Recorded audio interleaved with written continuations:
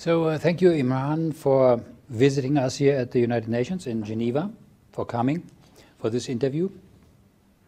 You know, I always wanted to ask you um, um, this question. Um, why are you, in the eyes of some people, even your own people, even Muslims, um, a sort of controversial figure? What do you think why that is? Uh, Christian, first of all, thank you for your kind invitation to be interviewed here. Uh, the last time we were at the at a restaurant in Geneva, um, and this time I'm back home because I used to be a graduate student, a PhD student at the uh, Graduate Institute of International Studies around the lake in Geneva there. And while I was a PhD student, I had access to the UN library. So I used to be here at the Palais des Nations. A lot a lot of time I spent over here. So it's like coming back home. Um, but the world has changed since then. It was 40 years ago. And now it's a strange new world. And those who have eyes and uh, can see with those eyes, and that is the essential part of religion, to have eyes and to be able to see and perceive the reality of things. When we when we recognize the reality of the world today, and then we expose its reality, and we um, show that it, the appearance and reality are quite different from each other, then that's a shock for many people because there are so many in the world today who have eyes and yet cannot see. And as a consequence, they, they respond to me with uh, shock and with discomfort. um, and that's why there are so many uh, in the world today who have um, this particular attitude towards me, but not only to me. To all those, whether you be Christian or Jew or Hindu or Buddhist or Muslim, who seek to penetrate the reality of the world today and then to expose that reality we become a people who are problematic yes. for the rest, yes. yes. Do you, you refer probably to also to the spiritual eye, to the eye, you know, not to the, the uh, eye of man, but also the perception, you know, from a spiritual perspective, right?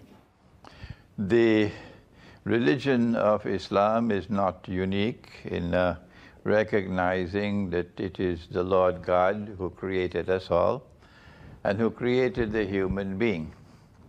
And when he created the human being, he breathed into the human being of his divine spirit. As a consequence of which, every human being, by virtue of being a human being, possesses something divine inside of him and her, inside of him and her. That which is divine inside of us give us the capacity to see what otherwise cannot be seen. And so, yes, it is a spiritual interpretation of the world and a spiritual interpretation of history which makes us different. Imran, you, you, you led the Friday prayer service at the United Nations, not in, in Geneva, but in New York for for how many? Ten years. Ten years. Yeah, when you think back, what was uh, what was it about? What was it? It was a very interesting time for me, because prior to this, I was in the world of books, in the academic world. But when I went to New York in 1992, and very quickly I was appointed as the Director of Islamic Studies for the Joint Committee of Muslim Organizations of Greater New York, that is New York, New Jersey, and Connecticut. Um, the Islamic community of the United Nations was one of 16 organizations which came together to establish this joint committee. And I was required to go to the United Nations headquarters in Manhattan once a month on the day of Friday, the day of the, the congregational prayer. And uh, the the Secretary General gave us the largest hall in the building, which was his reception hall for our prayers every, every uh, Friday, every day of Jummah. And uh, I would have to conduct the prayer, I'd have to deliver the sermon. And uh, there would be delegates from all over the world coming in and out of the UN. And after the prayer, we would go to the cafeteria for lunch, and I'd have ch- a chance to chat with people from all parts of the world. It was a thrilling experience for me. Uh, New York at that time was the center of the world, but the gravity is changing now. New York is no longer going to remain the center of the world for long again. And I spent there 10 years. 10 years. It was a very interesting time. It was a learning experience. I, I was able to meet with rabbis for the first time in my life. And, and, and the rabbis were usually very well educated people. And I had to interact with them, and I'm green to this kind of world. I met with ministers of the Christian faith. Uh, I remember being invited to a conference in upstate New York, uh, um, and there were about 200 Methodist Christian ministers. And I have to make a presentation on Islam, and I'm the only Muslim in the room. And uh, they were challenging me on certain verses of the Quran, and I had to respond, and I was beginning to understand the world afresh. So my stay in New York for those 10 years at the United Nations headquarters in Manhattan uh, was very beneficial for me for understanding the world today. You know, we're talking about religion um, and uh, inter-religious dialogue, interfaith uh, dialogue. What, in your opinion, is you know how can we get uh, you know all these different religions together that believe in you know the one God, and um, make them understand that if we unite together, you know, then we are a force against the evil of ungodliness and everything that goes on in the secular world today, right? Christian, it's a good time for the beard to be white. It's a good time to be old. And it's a difficult time to be young. You and I have seen the world change before our eyes, and it's still changing.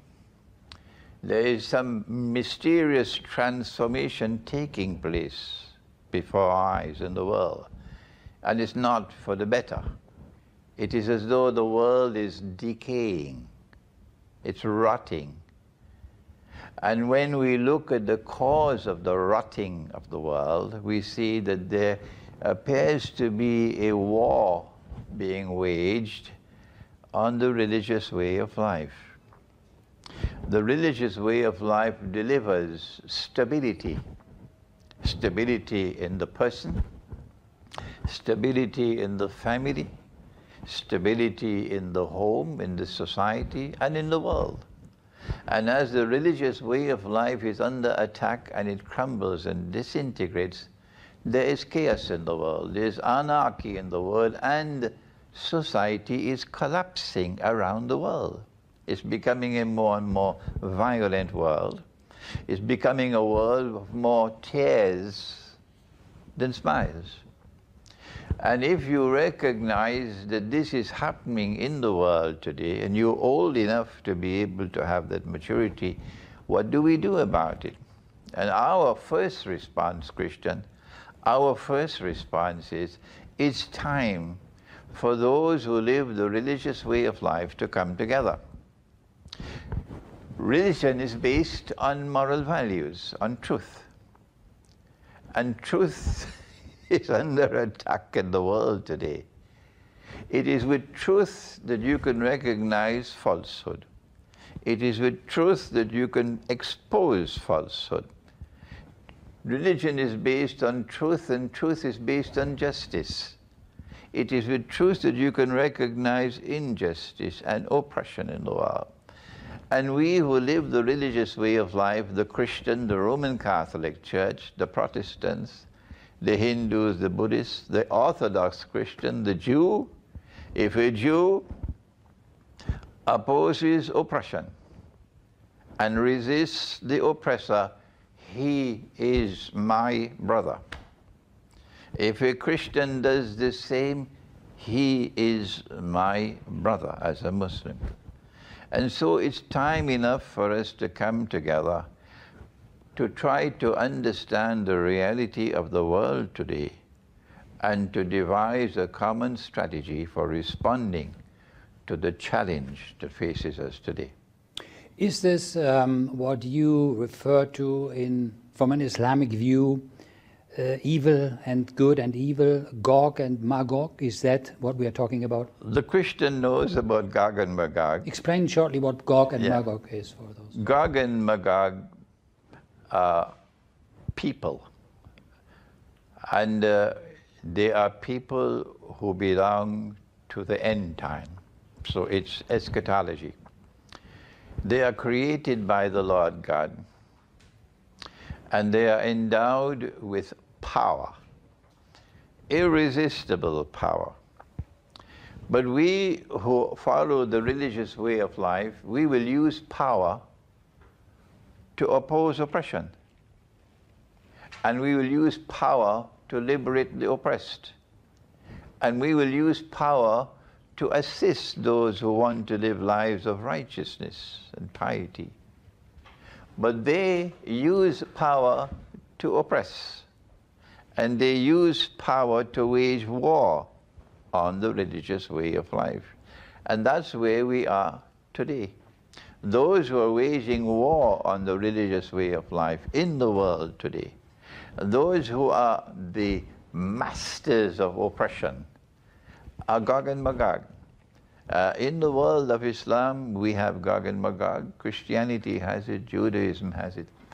Uh, I have written a book entitled An Islamic View of Gog and Magog in the Modern World, uh, but it's not possible in the brief time that we have uh, to be able to go to the Quran to teach, to, to explain to you. But in a nutshell, look at the world today and you'll see those who control power and are using that power to oppress and are using that power to wage a war on the religious way of life, they are Gog and Magog. Isn't that oppression um, that you are also referring to here pretty much driven by the monetary system, for example? Is that is that part of the op- oppressive? I'm so happy. I'm so happy that you've asked that question, because I forgot something about Gog and Magog. They have PhDs in corruption. They corrupt everything that they touch, and uh, they corrupt, for example, the human personality, which which which is comprised of external sight and internal sight in the human personality.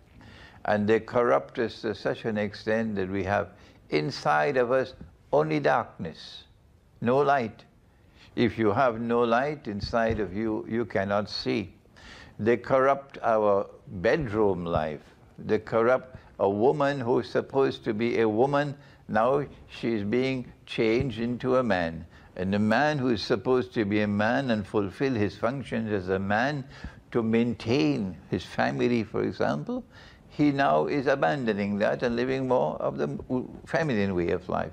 This corruption is taking place everywhere in sports, in education, in the political system, in business, but it is taking place, most dangerous all, in money.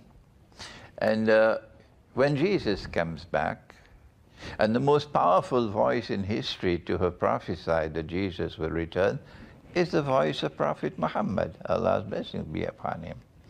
When Jesus comes back, he's not going to be using the euro or the USD. No. When Jesus comes back, he's going to be using the money that they were using in the temple in Jerusalem. And the Christian has to be reminded, I hope he's not offended by a Muslim reminding him, that when Jesus returns, he's going to be using gold coins and silver coins because the temple minted its own coins in Jerusalem. That is now prohibited by those who control power in the world. You're not allowed to use gold as money. No. And we must resist it, we who live the religious way of life. The corruption of money is the most dangerous problem we face today in the world and in the religious way of life. Would you say, with all the things that are happening around us in the past 20, 30 years or more, even, that this is really, we, we are living actually really in the last days, so to speak? Is, is this... Uh, we most certainly are living in the end time. And uh, we are now on the verge of the greatest war of all history. And I remember Pope Francis meeting with the head of the Orthodox Christian Church. Uh, was it maybe in Havana they met? Maybe a year ago. And both of them, the leaders of this side of Christianity and that side of Christianity, both made a declaration warning about the great war which is coming and seeking to try to avoid that great war. I remember that declaration of Pope Francis and, Cuba, yes. in Cuba. Uh, that great war is part of the end time. The Christian knows it as Armageddon. The Muslim knows it as the Malhama. And that great war is going to substantially reduce the population of the world. So this is a subject of supreme importance. We are on the verge of it.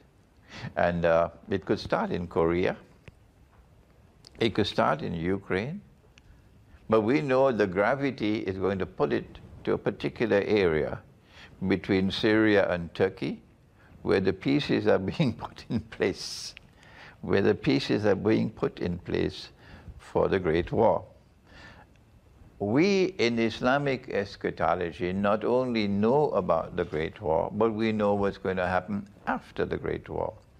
And I was pleasantly surprised to find in Christian eschatology that you also have the same view, there is going to be a conquest of Constantinople after the Great War. I went to Moscow and I was surprised to find Christian eschatology. Oh, we also have this belief of the conquest of Constantinople, after which the Antichrist will appear in person. Constantinople being Istanbul. I don't like the word Istanbul. No, but I mean. Yes. I don't like the word Istanbul. I want to recover the word Constantinople. When our prophet referred to that city, he used the name Constantinople. And when we liberate that city, we will recover the name of Constantinople, number one. Number two, we will apologize to the Christian world. We will apologize to the Christian world for what the Ottoman Empire did. When they conquered the city, they took the largest Christian cathedral, the Hagia Sophia, which had been a cathedral for 1,000 years, and they sinfully and disgracefully and maliciously transformed it into a masjid to the eternal shame and disgrace of the world of Islam. So we will restore it. It is your church, it is your cathedral, and apologize to the Christian world. Let's talk for a second about um, Pope Francis. What is your view on this Pope, on the papacy? I would very much love to meet with the leaders of the Roman Catholic Church uh, for a dialogue on eschatology. That he should recognize that the Great War is coming. For me, it's important. He did not refer to it as Armageddon, so I'd like to ask him whether you are referring to Armageddon. And if you are, then what follows after that? And how should we respond? to Armageddon. We need to have Christian, Muslim, Jewish dialogue, not just on what is similar between our religions and what is different, but more importantly, a, a dialogue on eschatology, on the end time. I am perhaps one of the, if you will excuse it, the, one of the leading scholars in the world of Islam today, and this is not in any boasting way. Uh, we have several books which have been written. And I'm just completing now a new book on the Antichrist, the Quran, and the beginning of, beginning of history. And after this will come another book on the Antichrist, the Quran, and the end of history. And then another book on from Jesus, the true Messiah, to the Antichrist, the false Messiah. So I am literally pioneering Islamic eschatology. And it's a time for us to dialogue dialogue. If I can meet with the Pope or with his representatives uh, for the Catholic Church, the Protestants, the Orthodox Christians, and dialogue on the subject, it would be fascinating. Isn't there the, the way of religious life, the, um, how shall we say, the uh, necessary in order to prepare us for the life thereafter? So is that the, the protection of the religious life a protection of our eternal uh, life in, in a way? So the threat from the other side is obviously from the enemy that tries to, you know, be, stand between us and salvation. Yes, the religious way of life is important, and those who are priests and rabbis and imams and scholars and who live a life of piety. We, these are the beacons, these are the luminaries of the world today. I remember when I was in secondary school, my father chose the most important college in the country in Trinidad, a secular institution. And I should have been happy to be in the most important college in the country. I remember at the age of 14 asking my father, can you transfer me to the Roman Catholic College in my own town? Because there was a natural attraction to the priest who lived the religious way of life. I didn't have that in that major college of the country. So the priest who is a pious person and who lives the religious way of life can transform those who are around him, transform the world. But today there is corruption. You have the, Islamic scholars who are being paid to do all kinds of wrong things. And you have the Christian priests who are an embarrassment to the Christian church. And there are rabbis also like that. So we, if we look for those who are authentically living the religious way of life, in Christianity, in Judaism, in Hinduism, in Buddhism, in Islam, and these people come together, not the rotten apples. How do we spot them, that they are the right ones and the other ones the rotten apples? those who truly live the religious way of life would have light. In Arabic, the word is nur, light. There'll be light in their hearts and there'll be light in the face. You can't buy that light in the supermarket. No. It's fading away today. Those who control the political world are people with only darkness. Those who control the market have only darkness on their faces. Those who control the banking system, only darkness on their face. But when you have eyes with which you can see, you can recognize someone who has light, who walks with purity. When Jesus comes back, you will see light walking on the road. Pure, pure, pure light when Jesus comes back, yeah. And we look forward to that day in the world of Islam. Let's talk for a minute about uh, the, the end times. And uh, if we're talking about Armageddon, so um, how is, why is this so important that we speak about the end times? You know, because Jesus, for example, in the Bible spoke that we're living in the last days already, and this is uh, uh 3,000 years ago. So end times and Armageddon, uh, when are the end times? Uh, what, what, what do we have to discuss, in your opinion, about the end times? From the perspective of Islam, something that no Muslim can differ with is that the most important event remaining to occur in history is the return of the Son of Mary, the Virgin Mary, Jesus. Allah's blessings be upon them all. But our Prophet has said that before Jesus returns, the Antichrist will seek to impersonate him. What we are living through now is an effort by the Antichrist to prepare himself for that moment when he's going to appear in person. And then from Jerusalem proclaim himself to be the Messiah. But he would not be the Messiah. He would be the false Messiah. But in order for him to convince those who rejected Jesus as the Messiah, to convince them that he is the Messiah, he will have to do a number of things. Number one, he will have to liberate the Holy Land for them. Number two, he'll have to bring them back to the Holy Land to reclaim it as their own after 2,000 years. Number three, he'll have to restore a state of Israel in the Holy Land and make the proclamation eventually that this is holy Israel of Solomon and of David. And number four, most dangerous of all, for which he needs Armageddon, he needs Armageddon, is that, that Israel must become the ruling state in the world, Pax Judaica. So we can now understand that Pax Britannica and Pax Americana were meant to pave the way for Pax Judaica. We are on the verge of that at this time. So when you refer to Pax uh, Americana and, and Pax uh, Britannia, is, is that um, the control over the monetary system? It's not just the control over the monetary system.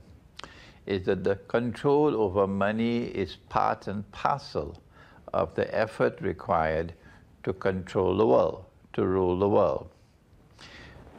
The holy state of Israel, of Solomon, Allah's blessing be upon him, was a ruling state. It's going to surprise your viewers now, what I'm going to say. it's also going to uh, surprise the Muslims who have been reading the Quran but not as yet been able to understand. That in the Quran, we are told that the Lord God one day caused something to happen to Solomon which caused him distress. وَلَقَدْ فَتَنَّ سُلَيْمَانَ And when he saw what, it was probably a vision, he saw someone sitting on his throne. And he realized that this was an impostor who would one day seek to capture holy Israel. And he then made a prayer, which is in the Quran. He prayed to God for a holy Israel, la yambagi li min ba'di, that no one after me will be able, it cannot belong to anyone after me, meaning the Antichrist. So he saw the Antichrist sitting on his throne. But the Quran refers to that person who was sitting on the throne as a, a being without a soul, a body without a soul. That's the Antichrist. We are now living through that moment in history when the effort to establish a holy state of Israel and declare it to be the state of Israel of Solomon and of David is about to climax, is about to climax. The Jew who is a Jew and who longs for truth would must, must recognize that this is a false Messiah that's coming. The Christian must recognize, of course, because the Christian believes that Jesus is the Messiah, and so does the Muslim, that this is a false Messiah who is now seeking to control the world and who is using oppression, oppression in the monetary system, oppression in the banking system, oppression in the political system. And anyone who seeks to resist him is a terrorist. So now let's talk um, quickly about Jerusalem in the Quran? Uh, Jerusalem is perhaps an English word, or I don't know what language it is, saying Jerusalem, but the Arabic is uh, not Jerusalem. Uh, in the Arabic language, we the Quran is sent in Arabic language. Yeah, um, it is Al Quds or Beit al Maqdis, the holy city, the holy city. Yeah. And uh, there are several references in the Quran, but it's always covered. The Quran, for example, re referred to it as Al-Ardul Muqaddasa, the Holy Land, the Holy Land, in which is located the city of Jerusalem. And uh, the Quran says, uh, Christian, you're going to be surprised when I tell you this. The Quran says that the Holy Land was given to the Israelite people to the Jews. And I often wonder why is it not posted in bold black letters in the New York Times that the Quran says the Holy Land was given to the Jews.